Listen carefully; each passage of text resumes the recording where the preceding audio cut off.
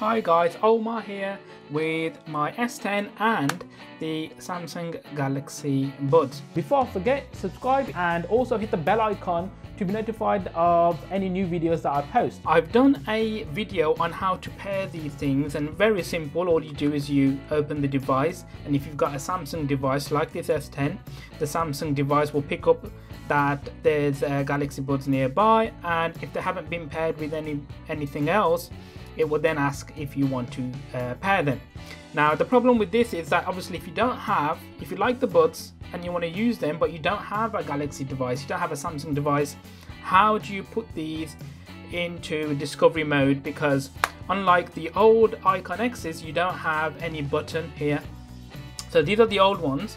You don't have a physical button on the um, on the outside of the case or even indeed on the inside. Um, so you can't, you know, there's nothing that you can do uh, which can put the um, earbuds into discovery mode. So because I'm going to be doing this on the S10, I'm um, going to dis um, unpair even from these earbuds like so. So if I scan now, it shouldn't bring up any earbuds at all. Obviously these are the Icon X's, you see them paired but we're not going to use them.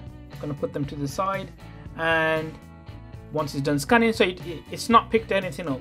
Now if I open these, it shouldn't pick up these because, okay, so if we close and we don't uh, pair them, now the way we put these into uh, discovery mode is you take them out the case, so I'm going to take these out the case here and all you do is now it's better if you have them in your ears. So I'm going to put them in the, in my ears but all you do is you hold down the touchpad on both of these at the same time. So you'll basically just uh, put your fingers uh, for a couple of seconds and then you'll hear like a pulsating noise. I'll put the earphones to my uh, microphone when I've done that and I'll show you how to do that. So let's I'm gonna put them in my ears now.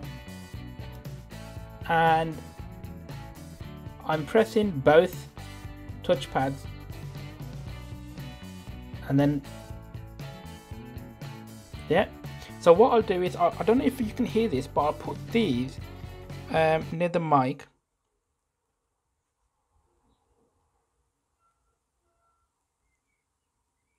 Hopefully you can that that came through.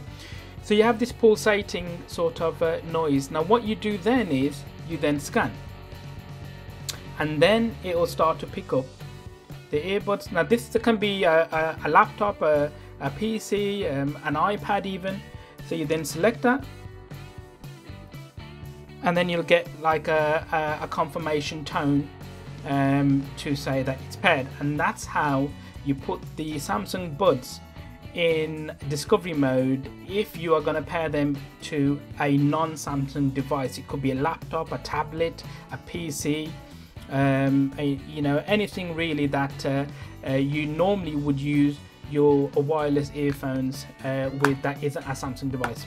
So that was just a quick look at that guys, thanks for watching and I'll see you in the next one.